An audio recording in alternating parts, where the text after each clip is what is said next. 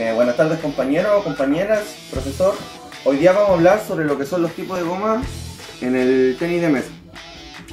Principalmente podemos decir que hay distintos tipos de goma, por lo cual nosotros podemos variar lo que son la goma roja y la goma negra. Después de eso tenemos lo que son los, los distintivos tipos de goma, que puede ser, por ejemplo, la goma de poro corto, que sus características son la efectividad de poder tener un mejor control de la paleta cuando el adversario a uno nos contrarresta con efecto. Entonces uno lo que hace es jugar más como control, parecido a la goma de control, pero solamente disminuyendo el efecto. También tenemos la goma de poro largo, que es mayoritariamente más efectiva en el tema de defensivo, lo que a nosotros nos ayuda mucho cuando el adversario es muy cuando es muy ofensivo.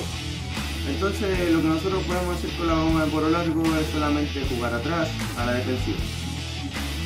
También tenemos otro tipo de goma que se llama eh, gomas de control, lo cual mayoritariamente se usa mucho para las personas que empiezan a jugar recién ping pong porque como la palabra lo dice, de control genera más control para nosotros poder eh, tener más efectividad cuando nosotros le pegamos a la pelota o damos un impulso o en cualquier tipo de respuesta ofensivo, defensivo generamos un control y ahora lo que vamos vamos a hablar sobre las gomas rápidas.